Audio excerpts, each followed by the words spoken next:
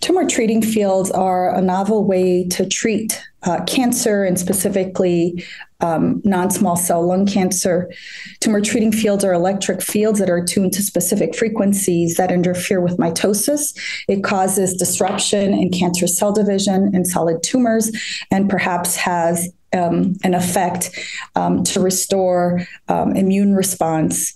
Uh, this has been demonstrated in preclinical models, um, and we've also now have randomized phase three data to support the use of TT fields in non-small cell lung cancer.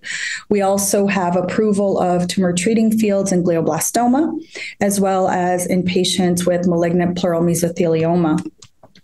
In the global randomized phase three study called the LUNAR study, patients with previously treated non-small cell lung cancer who had prior platinum-based chemotherapy, um, and they may or may not have had prior immunotherapy. They were randomized one-to-one to the combination of tumor treating fields plus the standard of care at the time of the study design, which included immune checkpoint inhibitors versus docetaxel versus the standard of care. The primary endpoint of this study was overall survival. And what the study demonstrated was that tumor treating fields plus the combination of standard of care uh, standard of care therapy led to improved overall survival.